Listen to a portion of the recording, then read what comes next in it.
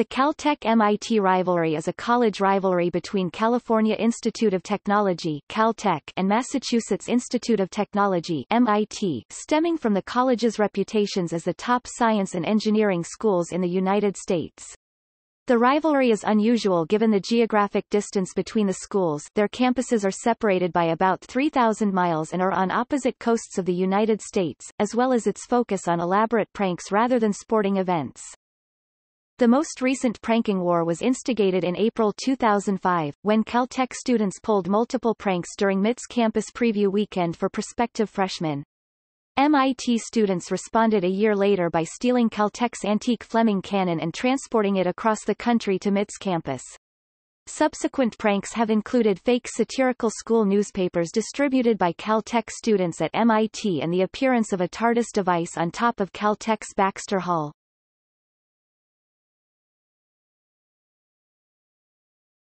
Topic. Schools Caltech is located in Pasadena, California, 11 miles northeast of downtown Los Angeles. It was founded in 1891 and adopted its current name in 1920. Caltech enrolled just under 1,000 undergraduates and almost 1,200 graduate students for the 2011-2012 academic year. Despite its small size, 31 Caltech alumni and faculty have won the Nobel Prize and 66 have won the National Medal of Science or Technology, and Caltech was ranked first in the 2011 to 2016 Times Higher Education Worldwide Rankings of Universities, whereas MIT was ranked first in the rival QS World University Rankings over the same period. Curiously from 2004 to 2009, the Times HES and QS collaborated to produce joint rankings. Caltech has a long history of off-campus pranks, which are sometimes referred to as RFs. RF is short for rat fuck, referring to the shattering of a frozen dead rat in someone's room. The most notable of these pranks include the 1961 Great Rose Bowl hoax, where a card stunt was altered to display Caltech rather than the name of one of the competing teams. Caltech students also altered the scoreboard display during the 1984 Rose Bowl to show Caltech beating MIT 38-9, and in May 1987 changed the Hollywood sign to read, Caltech. MIT was founded in 1861, and is located in Cambridge, Massachusetts, directly across the Charles River from central Boston. MIT enrolled 4,512 undergraduates and 6,807 graduate students for the 2014-2015 academic year. 85 Nobel laureates and 28 National Medal of Science or Technology recipients are currently or have previously been affiliated with the university. MIT also has a long tradition of pranks, which are called hacks, at that institution. Many hacks involve placing an item on MIT's Great Dome or otherwise altering, such as moving a campus police cruiser to its roof, placing full-sized replicas of the Wright Flyer and a firetruck on top of it to acknowledge the anniversaries of first powered controlled flight and the September 11 attacks respectively, and converting it into R2-D2 and a large yellow ring to acknowledge the release of Star Wars Episode I and Lord of the Rings respectively. A famous off-campus hack involved MIT students inflating a weather balloon labeled MIT at the 50-yard line at the Harvard-Yale football game in 1982, pranks at the two institutions are seen as a way to relax from the stress of the notoriously rigorous academics of each. Both Caltech and MIT have a set of pranking ethics, stating that pranks should be reversible and not cause permanent damage, and emphasize creativity and originality. In recent years, pranking has been officially encouraged by Tom Mannion, Caltech's Assistant Vice President for Student Affairs and Campus Life. The grand old days of pranking have gone away at Caltech, and that's what we are trying to bring back. Reported the Boston Globe, which noted that security has orders not to intervene in a prank unless officers get Mannion's approval beforehand. However, hacks at MIT are generally more secretive and often do not involve identifying the hackers.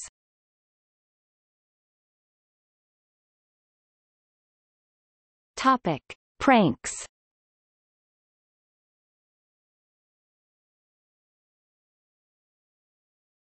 Topic. 2005 Campus Preview Weekend Pranks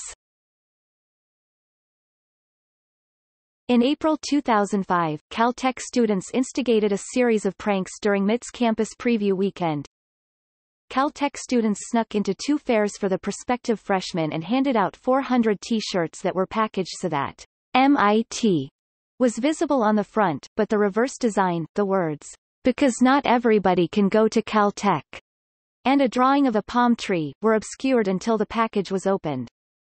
Inflatable palm trees were placed on the Great Dome and in the Tomb of the Unknown Tool, an important location in MIT's roof and tunnel hacking culture, after the Caltech students had snuck into a tangerine tour of these locations intended for prospective freshmen. A hundred orange balloons orange being Caltech's official color and a large blimp with the letters CIT were floated inside Lobby 7. The inscription on the exterior of the Lobby 7 dome facing Massachusetts Avenue was changed to read, That Other Institute of Technology, instead of Massachusetts Institute of Technology. The letters Caltech were written on the green building with a green laser. The group responsible for the laser dedicated the entire weekend to completing it, working on electronics for three designs operating on different principles, which yielded one working device. The Caltech students intended to upgrade the laser to show three-dimensional rotating and animated letters by using stereo sound signals encoded on a compact disc to control mirrors to deflect the laser beam. MIT campus police and students were initially frustrated in their attempts to locate the source of the laser, but the students were eventually able to trace it and Caltech students turned it off just before the upgraded electronics could be installed. Caltech students had also produced genuine-looking MIT ID cards featuring their real names and photographs, but did not need to use them. MIT students counterpranked the Lobby 7 dome to read, The Only Institute of Technology, and had to resort to pulling the blimp down using helium balloons covered in sticky tape. One student unsuccessfully attempted to DDoS the Caltech students' website documenting the pranks. The pranks were seen as a way to merge Caltech and MIT's independent but similar pranking cultures. Campus Preview Weekend was chosen because the Caltech students would blend in with the unfamiliar prospective freshmen, and to increase the prank's visibility. MIT Dean of Admissions Marilee Jones said, I think it's hilarious. I consider hacks a performance art, and I like the concept of inter-institute rivalry.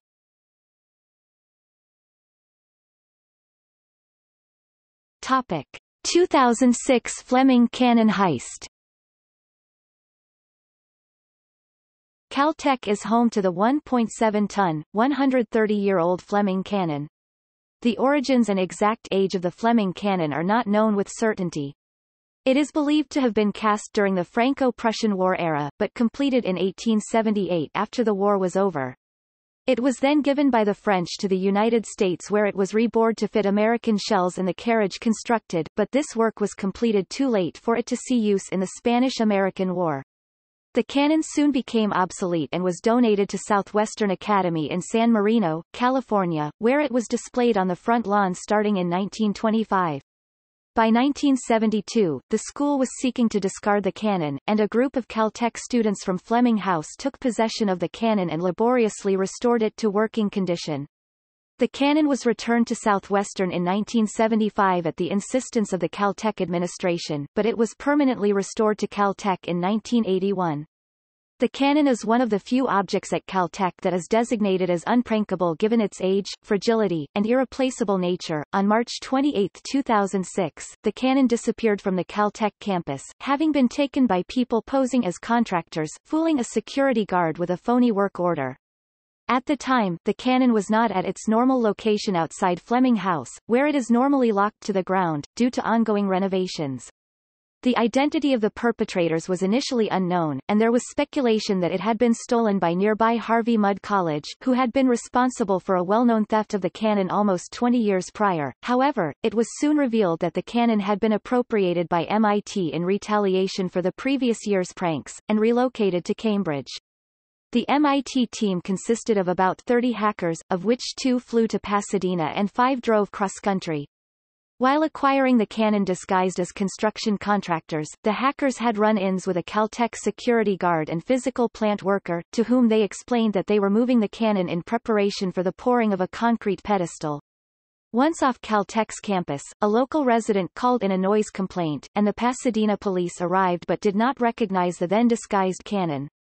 On the way to the shipping company, the trailer's hitch cracked, necessitating a slow trip on surface roads, and on arrival they were unable to physically remove the cannon from the trailer, causing them to spend an extra $1,000 for the services of a company that specialized in moving large film props. On April 6, the cannon appeared in front of the Green Building sporting a giant 21-pound gold-plated aluminum brass rat around its barrel, which was positioned to point towards Pasadena, and female MIT students mockingly posted pictures of themselves posing in bikinis with the cannon.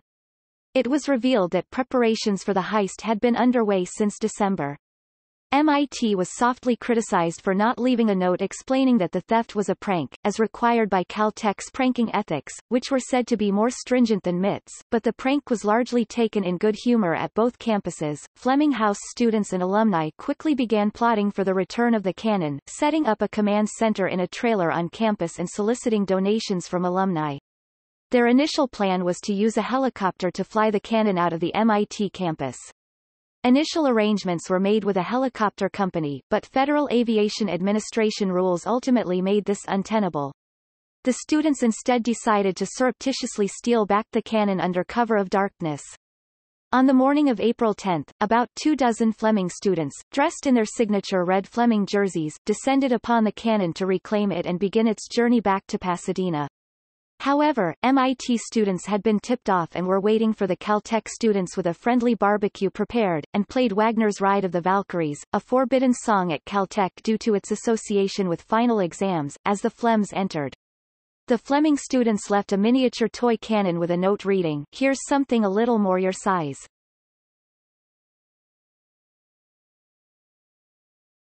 Topic. Later developments During MIT's CPW in 2007, Caltech distributed a 16-page fake edition of MIT's student newspaper, The Tech, containing articles such as Math Department. Hires rising star Matt Damon, Infinite Corridor not actually infinite, referring to MIT's iconic main thoroughfare, and a mock advertisement for sperm donation offering more money for Caltech students than MIT students. The prank was inspired by the suggestion that a similar fake newspaper caper had been perpetrated by the University of Southern California against the University of California, Los Angeles in the past, and the paper was prepared in just two weeks with 15,000 issues printed. The three Caltech students sent to distribute the papers at MIT initially tried to drop the papers at the Tech's normal distribution points, but these were quickly discovered and removed by MIT students. The Caltech students then turned to distributing the papers individually on the sidewalk outside of Lobby 7, a location outside the jurisdiction of the MIT police. In 2008, Caltech students provided a Puzzle Zero in the MIT Mystery Hunt that when solved, told solvers to call a specific number in the 626 area code immediately. When MIT students dialed the number, they heard, Thank you for calling the Caltech admissions office. If you are another MIT student wishing to transfer to Caltech, please download our transfer application form from www.caltech.edu. If you are an MIT student not wishing to transfer to Caltech, we wish you the best of luck, and hope you find happiness someday. Quote. Another series of pranks was planned for Thanksgiving weekend in 2009, involving transforming MIT into Caltech East, School of Humanities. The pranks were planned over the course of six months. Caltech students intended to deploy two large banners that were designed to be easy to place, but removal would require a cherry picker or a rappel. However, the design of MIT's Killian Court prevented the placement of one of them, and another was intercepted by MIT security before its deployment could be completed. Another fake edition of the tech was released, stating that students would be required to take a core of literature, history, philosophy, and economics, but science subjects would be eliminated. Although the failure of the pranks was considered to be a disappointment, Caltech and MIT students afterwards shared breakfast at a local diner. In September 2010, MIT hackers attempted to place a TARDIS time machine on the roof of Baxter Hall at Caltech, but were foiled by Caltech security. It was stated that this was due to MIT students' failure to tell the Caltech administration about the prank in advance. However, in January 2011, Caltech and MIT students cooperated in placing the TARDIS on the roof. The TARDIS had previously been seen on the MIT Great Dome in August 2010, and was subsequently transported to buildings at the University of California, Berkeley, and then Stanford University. Caltech pranksters again visited MIT's campus preview weekend in April 2014, this time distributing mugs that displayed the MIT logo when cold, but when filled with hot liquid, turned orange and changed to read, Caltech, the hotter Institute of Technology. Caltech students handed out the mugs to prospective students outside MIT's formal welcoming event. MIT admissions officers tried to stop the Caltech students unless they could prove they were a registered event, but Caltech Prank Club president Julie Jester stalled them for 20 minutes by claiming they were registered through the MIT Alumni Association, pretending to have problems connecting to MIT's Wi-Fi on her smartphone, and calling Caltech Student Activities Director Tom Mannion to get a name of an MIT Alumni Association member. MIT admissions officers reportedly resorted to ripping the mugs out of prefroshes hands. MIT admissions officer Chris Peterson later tweeted that the mugs were snake oil by charlatans from other coasts. Jester later said that it's been a couple years since we had a good MIT prank. We wanted to rekindle that relationship. And pranks are a big element of the Caltech culture. We're just a small institution, but we feel that our impact is really bigger than our size. We do cool stuff because we can.